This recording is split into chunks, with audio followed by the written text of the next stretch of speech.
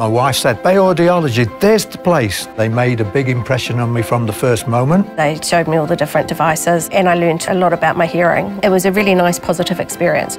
Book your free hearing check with New Zealand's most trusted hearing specialists.